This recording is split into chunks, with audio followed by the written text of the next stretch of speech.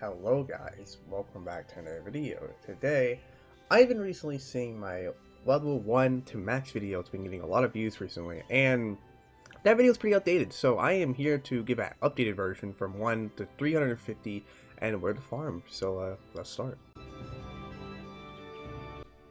Starting off floor 1, I recommend you farm the crabs from level 1 through 7. Then coming over to the bears, I recommend farming from level 7 through 10.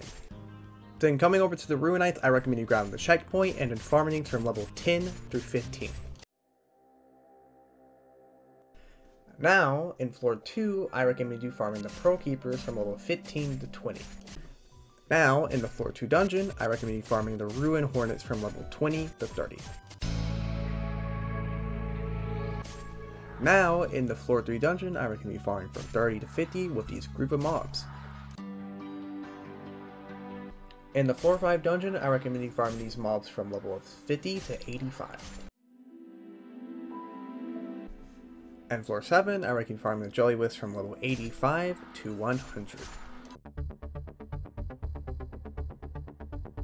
In floor 11, I recommend you farming a mini boss or the boss from level 100 to 200. Now in floor 12, I'm going to be farming the bats or mini boss from level 200 to 300 or even 350. Now, finally, in Atheon's realm, I recommend you farming from 300 to 350, and Atheon is definitely the best way of getting XP in the entire game, giving over 100,000 EXP. So yeah guys, I hope you enjoyed this video, I'll see you later,